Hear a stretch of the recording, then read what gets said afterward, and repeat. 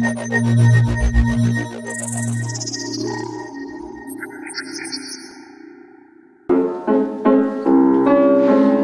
залюбляю,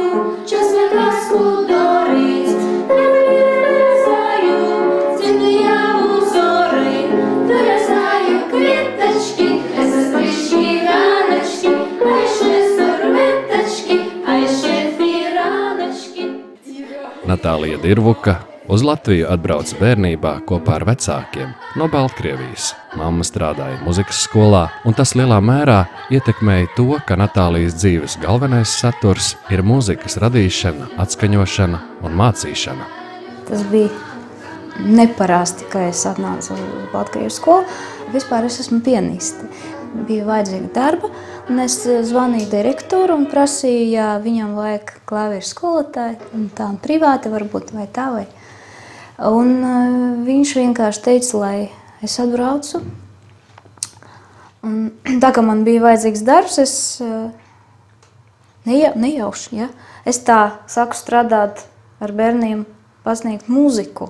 Un tā viņa teica, ka arī viņam ir eh, ansamblis.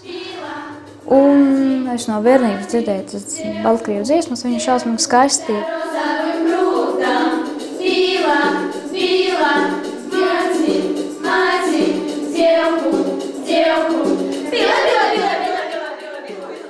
Учитывая, какой у нас прагматичный сейчас мир, что такой преподаватель такого ранга, как их э, учительница, могла бы открыть студию, брать частные уроки и получать за это большие деньги.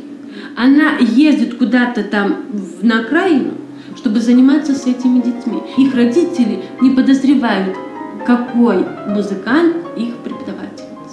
И я думаю, что очень хорошо, если бы э, учителя этой школы, когда будет ее очередной концерт, взяли бы, приобрели билеты и сводили и детей, и их родителей, обязательно с родителями, в этот концертный зал, и они посмотрели совсем другим взглядом на своего учителя и задумались, вот кто с ними работает и какие люди рядом.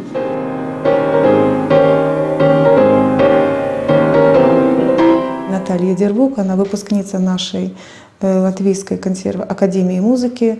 В общем-то, это музыкант, она играет на большой сцене Латвии, она играет за рубежом. И совсем недавно прошли ее концерты. пол- В городе было очень много афиш. Э, Вот именно рождественских концертов она играла там за роялем. И вот этот прекрасный человек руководит у нас ансамблем.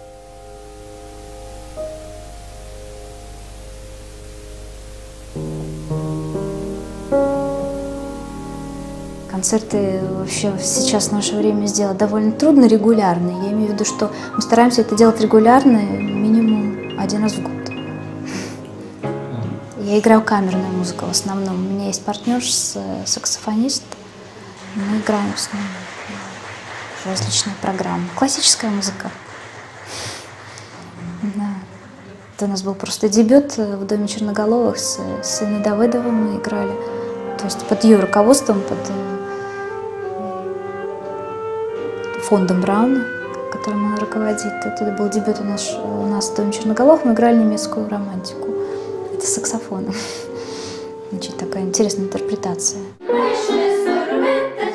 Дети здесь как бы живут, в принципе, как в такой большой семье. Они очень привязаны к педагогам. И, э, и когда они уходят, э, просто приходят через год на выпускной и так далее, я вижу, что им не хватает, как бы им очень тяжело, потому что им здесь, в принципе, очень тепло и уютно.